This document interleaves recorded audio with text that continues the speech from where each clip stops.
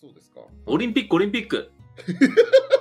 今日話題が豊富です、ね。明るい、そうそう、明るい話しましょう。明るい話ですか。うんいやまあオリンピックといえばね、はい。我らが水谷選手がわそうなのよ。にえあれあれでしょ？日本初でしょ？卓球界史上初初初。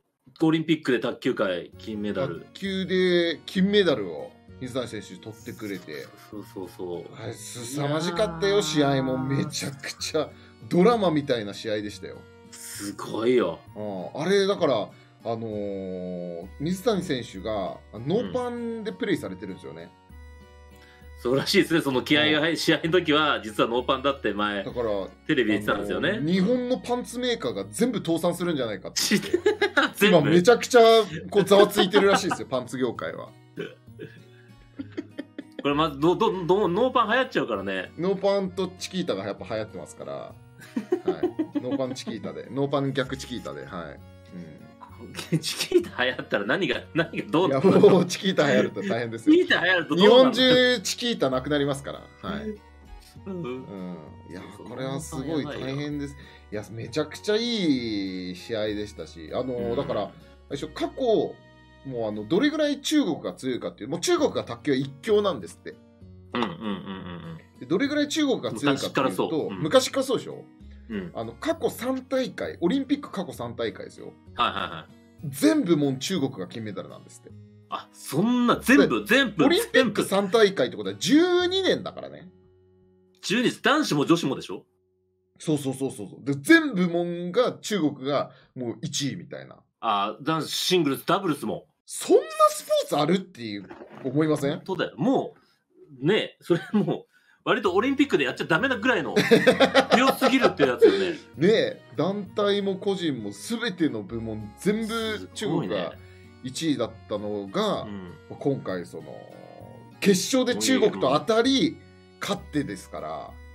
中国ちゃんと倒してるってるところがちゃんとそうそうすごいよね。今回の対戦相手もそう水谷選手とその男性のオーキン選手ですかね、うんうんうん戦歴もそう公式大会だと水谷選手うん。1勝12敗とかなんですよ。うわ。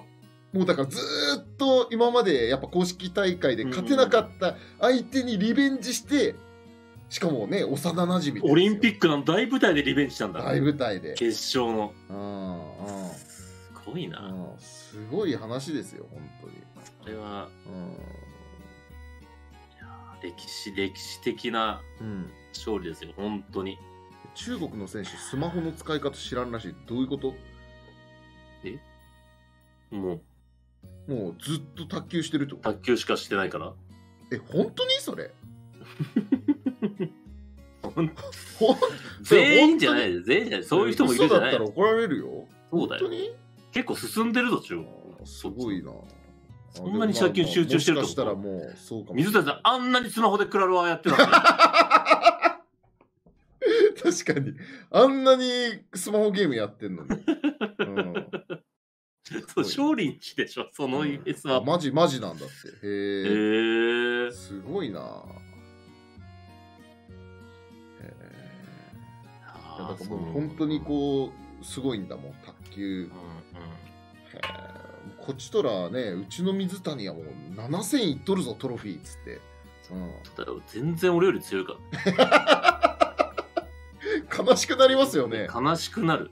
何が悲しくてクラロワ YouTuber やってるんやっていう、本当だよ。うん、なだからトゾさんと同じぐらいってことねトロフィー的にはね。僕より高いんじゃないかな。でも今やったら絶対負けるよね本当に。いや負けると思う負けると思う。うん。うんうんうんうん。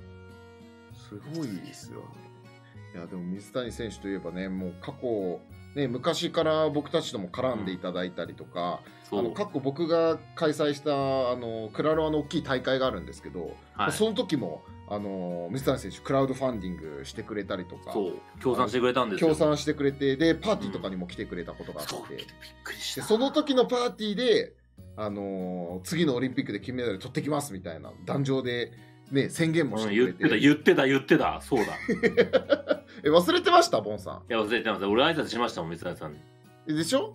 うんうん俺水谷さんにまさかそこからねあんなドラマみたいな試合をして の、ね、金メダルでちょっとさすがにうるっときちゃいましたよね。すごい水谷さんね、またね、すげえパリッとしてかっこいいスーツ着てたのよ。あーそのパーティーの時ね。うんで、僕、うん水谷さんに。初対面で、うん。なんて挨拶したかクイズ。え？水谷さんに、うん。そのパーティー僕初対初め会ったの？初水めお会いしたの谷選手。とボンさんの初対面の時の挨拶。ちなみにその前に、うんクララのフレバトとかでちょっとしては、ちょこちょこしてて、ああ、だから存在はお互い知ってるんだ。知ってる、もちろん。で、DM も今日なんか、大変ありがとうございましたみたいな。はいはいはい。ちょこちょこは、その、あれあった。あフレフレバトとかしてるその、本当の初対面という意味ではないけど、会ったのは初めてみたいな。さあ、僕は水谷さんになんてご挨拶したでしょう。ちゃんとしてる。もちろんそんな、ふざけたことは言ってないよ。あ。いやー、どこまでがふざけてるかわかんないからな。あ、あは初めまして、水谷さん。あボンジュールです。の次に私は何と言ったでしょう。はい。はい、どうぞ。そのスーツいくらですか？言ってそ惜しう。惜しいんかいい。惜しい。惜しいんかいえーっと、卓球の時もそれ着てるんですか？いいボケするね。いいボケするね。いいボケするね。そう、言ってそう、言ってそう。いいボケするね。それ。まあまあ、その、スーツ系ですね。そんな失礼なことは言わないよ。そんな。まあまあまあ、失礼なことはないよね。うんスーツ系絶対失礼なこかと。もうむしろ褒めて、むしろ褒めて。うーん。むしろ褒めてる。初対面二言目に挨拶してボンジュールですと。水谷さんも、あ、もちろんもちろん、もう存じ上げておりますみたいな感じで。そのスーツもスポンサーですか？嫌な言い方すんな。そのスーツもスポンサーです。あーあー、惜しいね。惜しいですか？はいいやいいですか？はい、どうんなね、近いところ。初対面で、あ、僕、あ、あどうも、モンジュールです。はじめまして。モンジと申しますって言って、水谷さんが、あ、もちろんもちろん、存じ上げてます。みたいな話して、僕が、はい。あ、水谷さん、さすが、ちゃんとしてますね。な、何のあれなんですか？何の？さすが水谷ちゃんとしてます。立派です。立派ですねって 誰目線さだ？すが水谷さん。誰目線ちゃんとちゃんとして立派ですねって。ちゃんとしてちゃんとして立水谷さん、ちゃんとして立派ですねって。誰目線なのマジ？なんで上からなんだよ。めちゃくちゃ。すっごいなんか姿勢正しく、すっごいなんか、ちゃんとお辞儀とかもなんか、ピンとしてたからね。ピン、ピンとしてたから、うんうんうんうん苦笑いしてましたね。でしょうね。うんでしょうよ、うん。親戚のおじさん目線やばいありがとうございますって言ってな面白すぎる面白すぎるた。それが、うんはい俺が水谷選手と交わした最後の言葉です。もうだから嫌われてんじゃないですかボンさんもそう。いや、嫌われてないですよ。あと、オリンピックの時、あ、これ、自慢していい？あ自慢どうぞはい水谷さんから、うんそのオリンピックではい DM 来ましたから。え？ダイレクトメッセージが。オリンピック中さにすが。あボンさんに？あ、うん。な水谷さんから、なんであのー、頑張りますってえ いつですかそれは？た。あのー、それ決勝の日よ。決勝の日に？うん。あじゃええー、と思って。大会前ってこと？そうそうそうそうそうそうそう。え？朝？夕方ぐらい。あじゃあもう直前じゃんはまあ、直前でもないけど、まあまあまあ、うん数時間前、あ頑張りますと。いやいや、こちらこそ、なんか、いや、本当こに。ちらこそ頑張りますこちらこそ頑張ります。別に返してない。返してないけど、うんあれ、あのー、ほん本当になんか、本当もう大興奮ですと。頑張ってくださいと。はいはいはい返して、はいはいはい。こちらこそ頑張りますこれよ、これが、あれよ、ツイッターの公式マークの力よ。いやーボンさ水谷さんから、頑張りましたよ。試合、試合の日よ。ん残念ながら何えー公式マークがついていない私にも DM いただいております。え？誰から、水谷選手から。え？準決勝のうん。日、決勝の前前夜。多分前夜。眠眠れなかったんですかね。うん。その僕が水谷選手ツイートしてたらうん。そのまあ、明日頑張りますと。うん。水谷選手から DM いただきまして僕は DM 送ってなかったんでもうあっちから来来たんでめちゃくちゃね興奮しましたよやっぱ。父さんも来たの？僕も来ましたはい。そんな感じ？なんだ俺俺だけかと思ってた。のまあケンツも来たっていう。あケンツも来たの？って聞きましたね。うん。そんな感じか。いやなんかあ、うん。俺と俺ついでか俺いやいやいやついついでかどうかわかんない。ついでかどうかわかんないですけど。あなんだついでか。な俺てっきり俺もうまあ試合夜だしうん。まあ、あれだから、なんか、あれかなと、水谷さん、俺に緊張ほぐしてほしいのかなぐらいに思ってたんだけど。なんどこどれだけ信頼を置いてんの すごい緊張したけど、これの緊張ほぐすのには、ボンジュールしかいねえみくらいの感覚で俺に送ってきた 満のを持していややっぱまあでもちょっと落ち着かないとかはあるかもしれないですよねその、うんうん、緊張してみたいなそうね、試合、その日の夜だとね、一日ね、やっぱね、そうだねそわそわしちゃうよね。わかんないけど、うんそんな気分、気持ちになったことわかんないから、わかんない。オリンピックの決勝、うん。めちゃくちゃなんもうね集大成なわけじゃん今回。ね東京オリンピック。でもしかしたらこうねあの引退するかもみたいなウィキ情報によると書いてたんですけどもう集大成をぶつけますって言ってるね水谷選手は。ああもうちょっとこう普通だったらね緊張して携帯ももう触れないそわそわしちゃうかもしれないですけどやっぱ余裕がありますよね。いや、僕ね、余裕とかじゃなくて、うんうんうん。逆にそうやって逆にプレッシャーを自分にかけてるのかもしれないなと思いました。あそのみんなに知り合いにねそうそうそうそうそうそう。頑張りますって連絡することによってうん。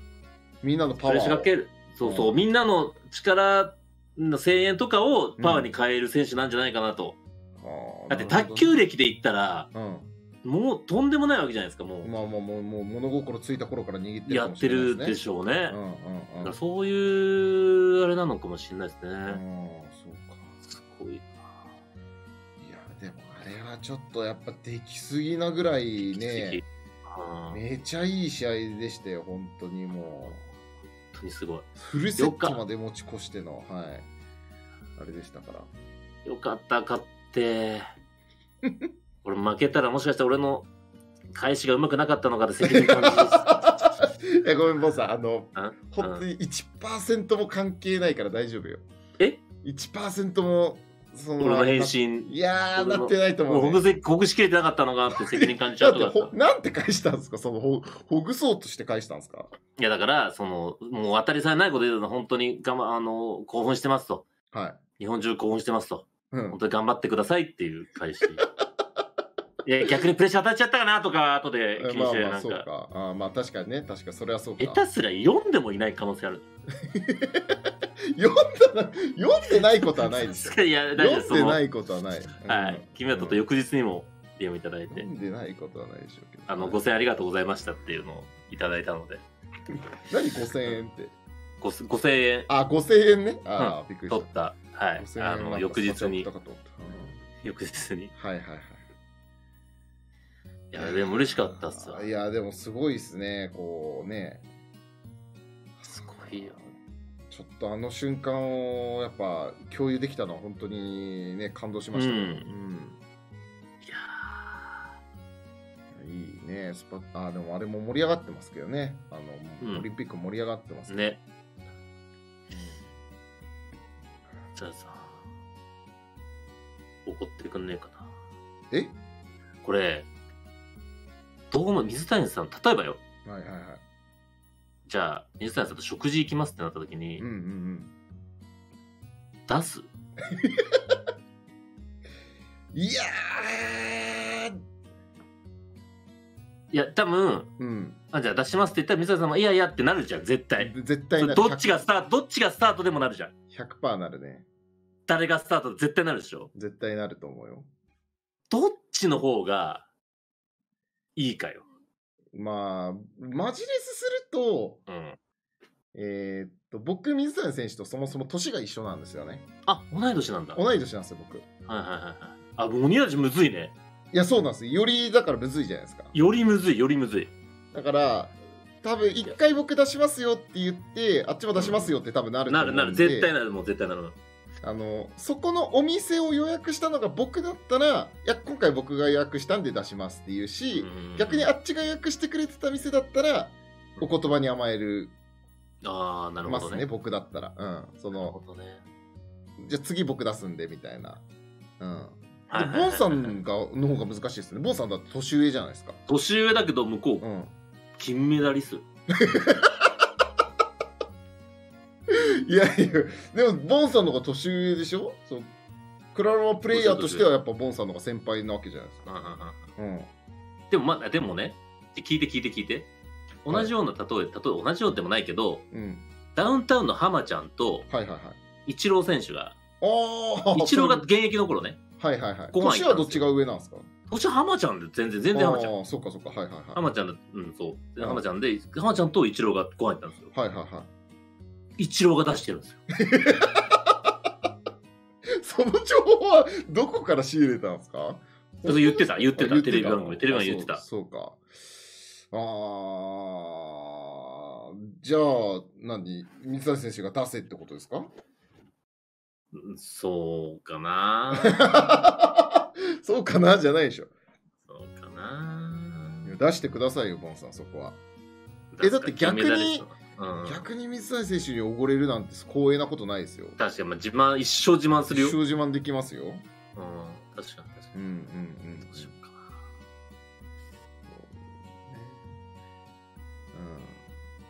うん。確かに。いや、きよきよさんは絶対水谷さんが出してると思うよ。うん、ああ確かに確かになんか、ね、それはもうだって絶対水谷さんが出すよ、うん。そりゃ。うん。年もだいぶ違うだろうから。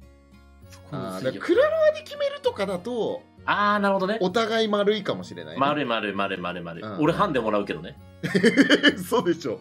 え、なんでなんでなんで？向こなうんの方がうまいもん。でえいやい向こうのやいや方がうめえもんそこはそんないやそこはボンさんクラロワでって言ってそのボンさんが出すすっと出すのがやっぱいやいやいやあっちに気もうめえもんえ？向こうのいやいやいやあっちで気持ちよくおごってあげるっていうのがいいんじゃない？やだよやだよ。クラロワ勝負したのちゃんと。え？いやいやいやいいじゃん。別にハンデなしで普通に勝負すればいいじゃんハンデハンデだよ。あそういうのだっていいですねでもねうんまあそっちの方がお互いおごりやすいし気使いにくいよな確かに確かに確かにうんうんクラロまあ卓球勝負よりはマシだわうん それは接待が過ぎますからね、うん。それは接待が過ぎる卓球勝負よりはマシ卑怯とや卑怯とやるか水谷さんに。悪いなほん。と水谷さんと卓球で卑怯道やりてえ。いやいや贅沢すぎるあれだよ。うん。望みですよちょっと 卓球界で水谷選手といえばもうねほんとキングですいから、やーもうそうね。どんどんすごいとこ。すごいね金メダル。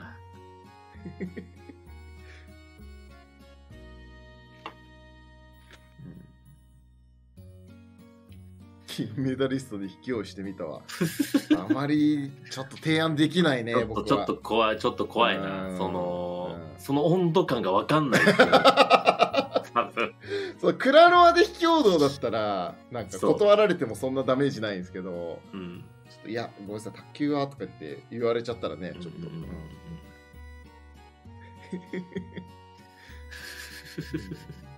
いろんなとこから怒られる怒られ。スポンサーさんもついてますしね、うん。確かに確かにね。スポンサーさんもいらっしゃるんで、はい。水谷水谷選手パンツ履かせる卑怯するわ いやパンツ履いても絶対パンツ勝てないよ履かせる卑怯すいやいやパンツ履いたら履ワンチャンある。ワンツ履いいたらワンチャンあるぞ。ないないないパンツ履いても絶対勝てないよそりゃで水谷さん卑怯だぞ俺にパンツ履かせる 言いたいだけやんもう長ズボン履かせる。言いパンたいだけ言いたいだけ。長ズボンなら勝てる。言いたいだけなのよもう。全然絶対勝てないから。1ミリも惜しくなんないのよ。勝てるよねうん。水谷ねかワンチャンあんのか。ブラジャーはしてくんないよ。芸人じゃないんだぞ。やめろやめろ。いやいいな。ぁちょっといろいろね、やっぱでも元気になってうん。日本が元気になりますよね。金メダルの数もすごいですし。すごいですね、はい。本当に。うん